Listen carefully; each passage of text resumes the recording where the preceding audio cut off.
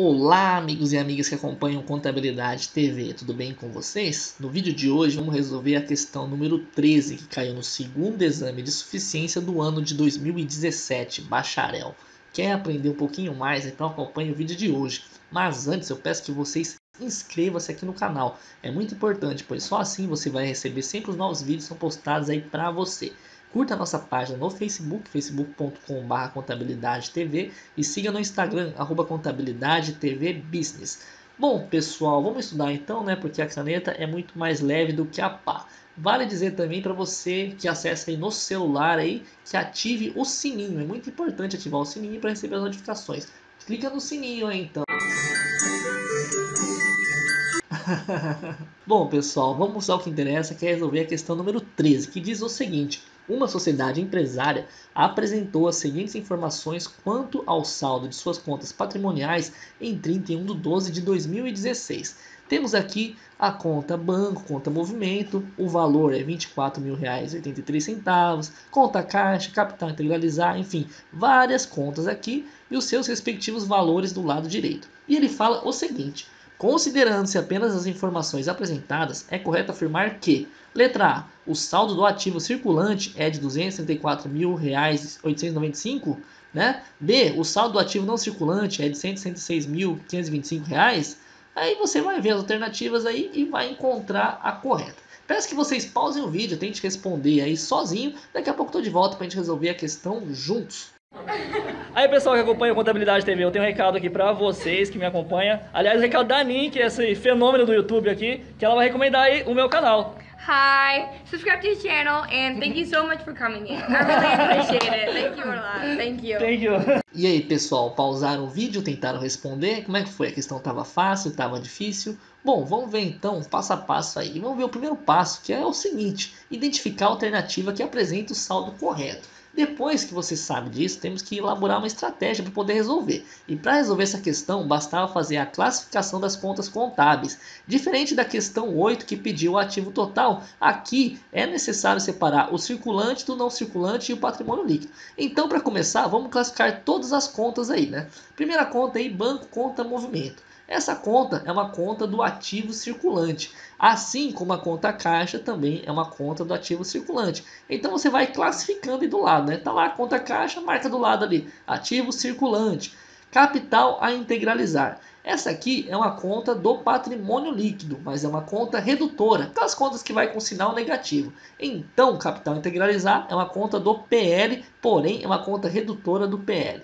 Capital subscrito, uma conta do patrimônio líquido. Depreciação acumulada de edificações de uso. É uma conta aí do ativo não circulante. Porém, né, a depreciação é uma conta retificadora, uma conta redutora. Então você coloca um sinalzinho negativo aí, mas classifica ela como ativo não circulante. Duplicatas a receber de curto prazo. Bom, como falou curto prazo, temos um ativo e um ativo circulante, já que o ativo circulante é sempre de curto prazo. Agora, duplicatas descontadas de curto prazo é uma conta do passivo circulante. Então você marca aí, né? PC, passivo circulante. Edificações de uso, ativo não circulante. Empréstimo a pagar de curto prazo, passivo circulante. Empréstimo a pagar de longo prazo, passivo não circulante. Encargos financeiros a transcorrer de curto prazo. É uma conta do passivo circulante. Fornecedor de curto prazo, passivo circulante. ICMS recuperar, de curto prazo, ativo circulante, assim como mercadorias para revenda também é um ativo circulante, reserva para contingências PL, né, patrimônio líquido, e telefone a pagar de curto prazo é um passivo circulante. Bom, não esqueça que para a resolução dessa questão, as informações de curto prazo e longo prazo são muito importantes. A dica que eu dei lá na resolução da questão número 8 também ajuda a resolver essa questão, por isso eu vou repetir aqui. Sempre que tiver de classificar as contas, observe os termos utilizados nos nomes. Sempre que aparecer, por exemplo, ali aquela nomenclatura a receber ou a recuperar, ou, por exemplo, assim, a conta a apropriar, essas contas elas vão ser classificadas como ativo. E sempre que aparecer aí na nomenclatura das contas a pagar, a recolher, por exemplo, duplicados a pagar, né? clientes a recolher, impostos a recolher, e aí por diante, né? Ou a transcorrer é classificado como passivo. Agora, pessoal, a duplicata descontada nada mais é do que um empréstimo que a empresa faz oferecendo a duplicata como garantia. No entanto, a empresa não transfere o risco da dívida e o valor recebido pelo empréstimo deve ser contabilizado como passivo circulante ou não circulante e deve ser líquido dos encargos cobrados pelo banco. Por esse motivo, preste atenção, por esse motivo, a conta de encargos a transcorrer reduz o valor do passivo. A contrapartida dos encargos é feita em conta de despesa financeira. Então, sem mais enrolação, vamos começar para calcular o valor do ativo circulante.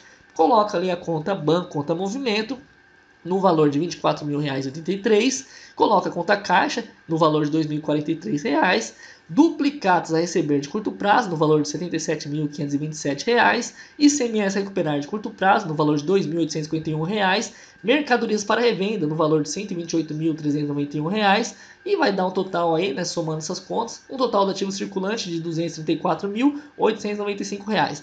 Logo de cara já identificamos que a alternativa A está correta e que esse é o gabarito da questão. Então pode marcar A aí e já está tranquilo. Aí, claro, na prova, né, você iria marcar A e já ia para a próxima para ganhar tempo. Agora, sim, apenas com o objetivo de garantir que classificamos as contas do ativo circulante corretamente para fins didáticos, vamos verificar se as outras alternativas de fato estão incorretas. Né? Vamos ver se elas estão erradas mesmo. Vamos analisar aqui edificações de uso. R$ 133.904. Mas, né, na verdade, mais assim, mas é com sinal negativo, né? Depreciação acumulada de edificações de uso. Então, mais 28.537, só que é negativo, ou seja, você vai estar diminuindo, né?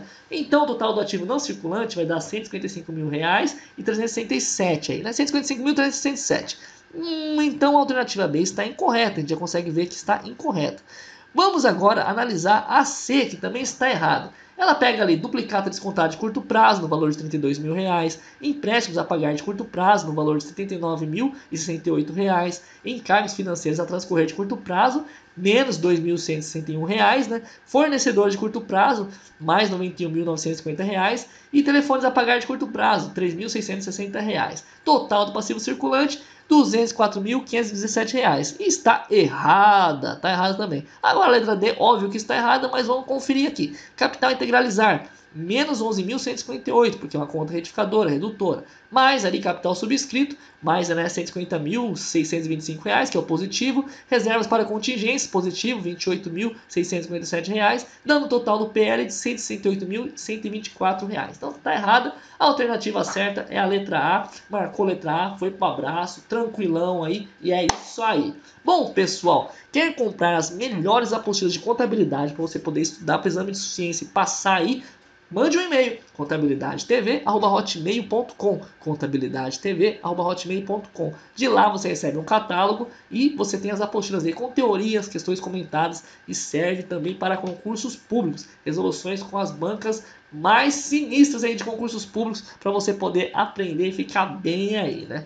E no final desse vídeo, pessoal, vou deixar um link aqui desse lado esquerdo para você conhecer meu outro canal, onde eu falo sobre curiosidades, vlogs, coisas divertidas. Afinal, né, tem que se divertir, senão se só estudar contabilidade você fica doidão. Então tem que se divertir mesmo, tem que se entreter. Do outro lado, eu vou deixar um link para você aprender um pouco mais sobre o assunto e no canto inferior um link para você poder inscrever-se aqui no canal. Estamos chegando aí em 80 mil inscritos. Chama todo mundo aí que você conhece para inscrever aqui no canal. A meta é bater 100 mil para poder ganhar aquele play de prata bonitão, né? O silver button do YouTube. Vai colocar ali atrás, vai ficar top demais, né? O botão de prata. E depois, por que não, sonhar com um play de ouro de um milhão, né? Por que não? Mas pouquinho em pouquinho. Estamos chegando nos 100 mil, inscreve-se aí no canal, né? Compra as apostilas, ajuda, eu te ajudo, você me ajuda, eu te ajudo, você me ajuda. E até a próxima!